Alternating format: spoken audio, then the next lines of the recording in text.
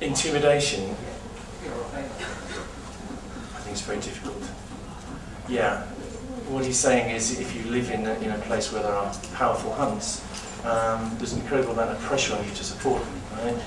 And it will become, there's the carrot on one side, you know, you'll, you'll be a good guy if you support the hunters. On the other side, you'll be intimidating and your animals might get killed if you don't support them. And it's very heavy stuff. Well, I, I know, because we have a lot of people who write to us about this kind of thing. I think it's gradual. I think you have to reinforce people's belief in that they are right and they are not alone. And gradually they can come out and, um, and support people like us who, who fight against the hunts. But it's a real problem, yeah. Uh, also, you know, some, some proper um, honest reporting in the papers would help. Right. Um, you know, is I think when you said that what differentiates us from animals is our compassion. Mm.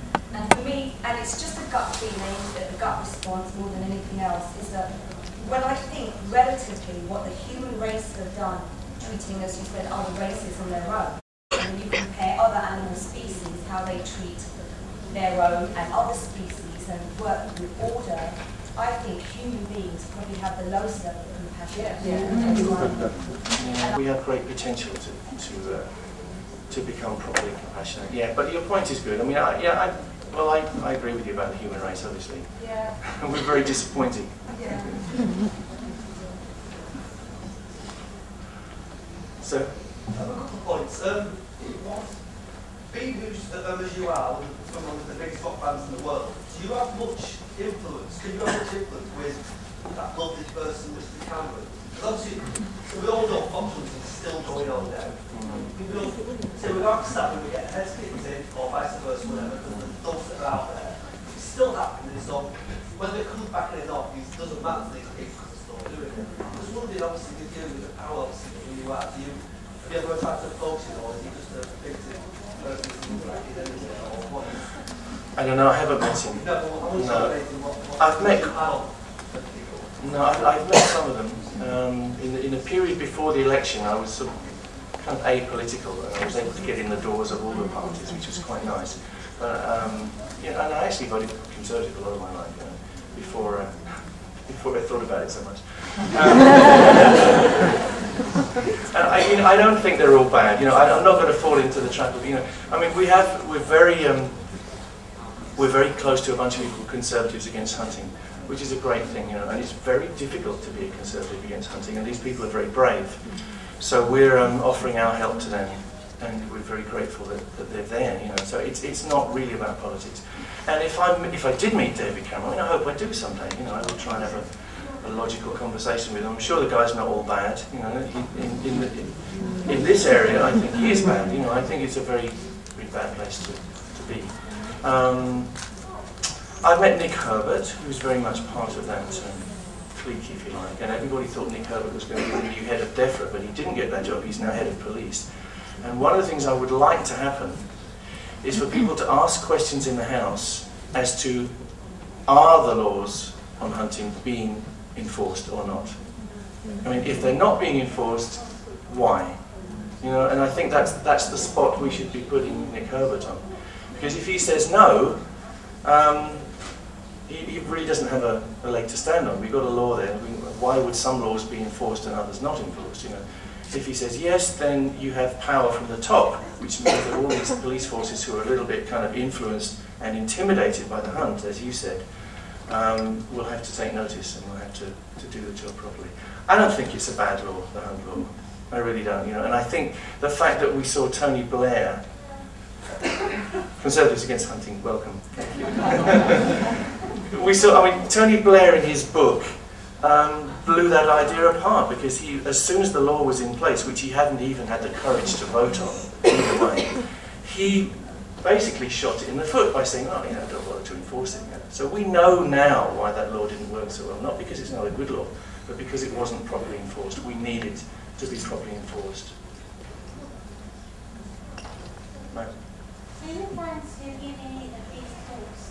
the media? I try and do my bit in the media. So I probably didn't answer your question very well. What do I do? you know, I, I, don't have that much influence with these people. a lot of people, you know, their kids like Queen or, or their granddads like Queen. um, oh, it's getting like that. Um, you know, so I, I, I yeah, I, I, get some doors open to me, but I, I'm not the person that they will listen to unless they think it's going to do them some good. You know, and, and I, I, the best thing you can do with any politician, even if they're the good ones, and I don't think there are that many good ones, um, you know, is to persuade them that what you're proposing to them is going to get them votes. You know, if you can say to them, look, 75% of your constituency in your party are against fox hunting, maybe you should be voting against fox hunting in, in, in, in Parliament, and in that case, maybe you will get more votes. Now, that's when the penny starts to drop in their heads. So I try and do that. As regards the media, sorry, you I do bits and pieces. Um, when, when the opportunities arise. It's getting a little better, I think. You know, I was viewed as a, you know, you know, a rock star. What, do rock stars know? You know, that, that was there for, but that's beginning to change a little bit, and people. I could give more talks, yes I could do. Yeah. Well, I'll go to Eton, shall I? I think I've been invited to Eton. Ferry, yeah. yeah. That's the hard, It's one of the hardest things for me, the fact that people in my business, you know, are on the other side. It, it's a very hard thing to, to deal with, you know, and I, I, don't want to sort of start wars with them because in some ways they've done so much good in the world, you know. you know, some of them have done great work for charities other than animal charities, you know. You can't start kind of slagging these people off. So you, it's, it's a difficult balance, and I try to be outspoken without being needlessly confrontational, I suppose, because you need to preserve your keep your powder dry. to use a painting. No, it's a wartime Please. Can I just say how it is for all of us? because MPs do listen to what they say. I know I'm to hear that and if you keep putting pressure on them, then they'll have to take their notice. So don't sending an email to your MP, especially those of us in a conservative constituency is paramount. So please, do send those emails to your conservative MP especially. It's important because they do look at them. Even though they might not get back to you, they do look at them. And they send you a nice standard response. Yeah. Love that standard response. I tell you, if I've got time to answer my emails, the bloody MP's got time to answer it. That really, really pisses me off. People put a standard letter back. You know, we don't need that. That's an insult. But anyway, thank you. Have we got time? Are we all right for time? Well, perhaps one more question. Lady, you. Um, I think we can all agree there's a tremendous amount of passion here today. Excuse me. Sorry. But, uh, and we would all like to do something really, really positive to move forward here and to stop all the abuse that's going on both in farming and in hunting, etc., etc. Now, nobody will listen to us. My MP is a waste of space, I'm sorry, Theresa Coffey. Mm. Yeah. She is a member of the Countryside Alliance. She's not interested in vivisection, in CCTV cameras and slaughterhouses. She doesn't want to know about anything at all. And I've been to see her, and I'm always very respectful, etc., etc. I'm sure everyone is. What I'm saying is the only people that can help us, I feel, in our fight is the media. And the media is anti-animal rights. yeah. yeah. On the whole, not entirely, but largely. Yeah. Mostly, they're anti-animal rights. Now, the only way you can get them on your side is for someone to speak out for animal rights, mm. such as yourself, mm. with um, the same and they will listen to you, and will listen to you not because you care more than us, you care as much as us, obviously, but they will listen to you because people know your needs still. You know, from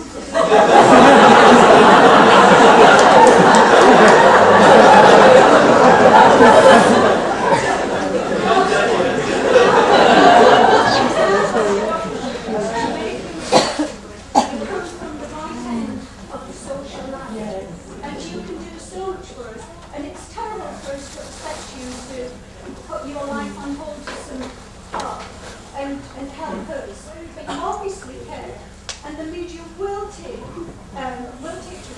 You could ask Cameron to meet you on the television an open live thing on the underlying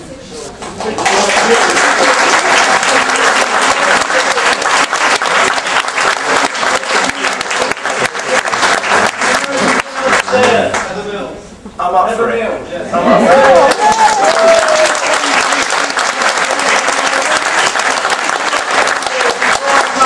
They've got the power to change things. Governments don't listen to people like us. You can make the difference. Well,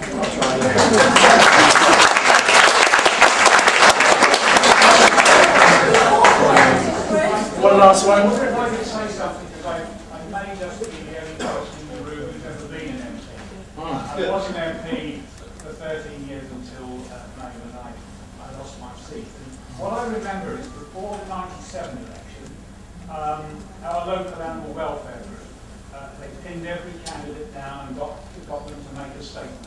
And they had a stall in the town centre week after week after week, you know, uh, promoting, not promoting, publicising these, uh, these statements. So it actually became, or actually wasn't the number one issue, but it was a significant issue about which more people were taking note. Now, in the, in the recent election, even though the future of the, of the ban was clearly at stake, until your own campaign got going, it, the issue was submerged. And what I think happened was the sort of animal welfare movement, certainly in my part of the country, which is not too far away from Suffolk uh, coastal, there weren't the same amount of street stalls and, and that leading up to the campaign. It's no good waiting three four weeks of a election campaign. This sort of thing has to go on in months and years. And I think actually it is just simply numbers and brute force politics which shifts because the arguments are very good. And I'm proud that I that I campaigned and I spoke and I voted voted for the for the acting parliament. Brilliant. And I've got a constituency that ha- has a huge rural area, and you know there is no fox hunt in my former constituency, but no farmer had ever complained about problems with foxes. However, there is still a hare hunt. And as we know, the Burns Committee concluded that the hare um, is just not an agricultural pest, so it's got nothing to do with it. The arguments have run out. It is about brute force and political pressure and actually getting people lined up behind it. So I think it's an excellent idea to take the Prime Minister on.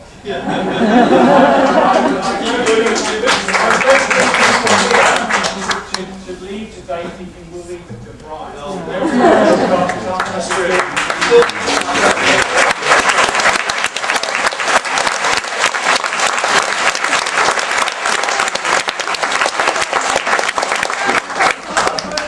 I think I think really we should leave it there because bless you. But I think that's a great way to end. Thank you. for that. But-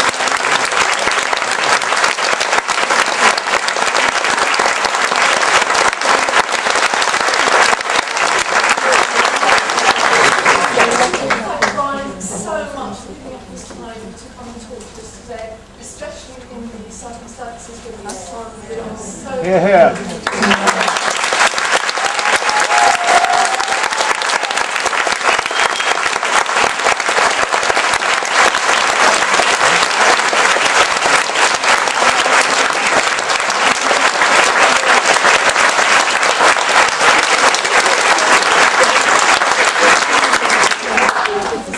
Can I just say, we can't leave everything to Brian. We've all got to pull together. We've all got to do our bits. And I know all everybody here has worked so hard to help us with this. And Brian was a wonderful and very, very good for us to work together. Please don't forget to go to the deputy site by Tuesday, Wednesday. We have